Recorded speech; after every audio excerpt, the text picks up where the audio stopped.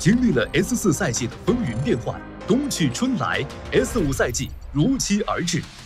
S 五春季赛的二十四个参赛名额将由 S 四秋季赛的前十二名和第十五届勾勾斗地主锦标赛第一站十二支晋级队共同组成。S 四秋季赛前十二名中有一队放弃资格，因此第十五届锦标赛第一站的晋级名额增加为十三支战队。二十四进八赛段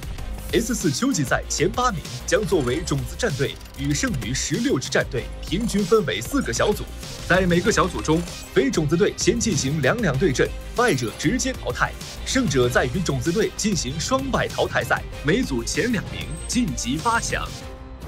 八进四赛段，晋级的八支战队将重新分为两组，面对新一轮更强大的对手进行双败淘汰赛。每组前两名将杀出重围，成为春季赛的四强队伍。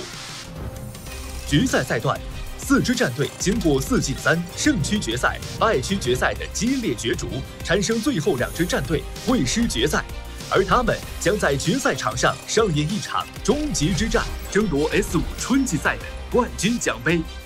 凝心聚力，战火续燃。新的赛季，新的阵容，各路人马重整旗鼓，是老牌战队强势加冕，还是新锐战队横空出世？S 五春季赛，我们共同见证。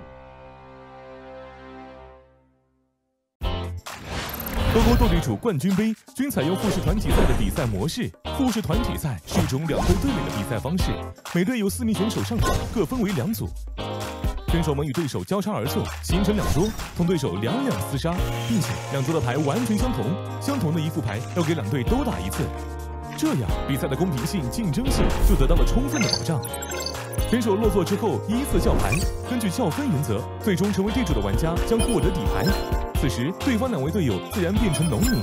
本局队友则处于观战状态。这就是复式团体赛的打法。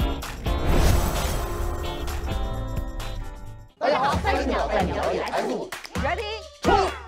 ！S 五新赛季赛事重磅升级，非常值得期待哦。除春秋季赛外，公开赛、锦标赛、混合赛也将全面开启。熟悉的配方，熟悉的味道，欢迎您收看，欢迎您收看，欢迎您收看，欢迎您收看《勾斗地主冠军杯》各大赛事。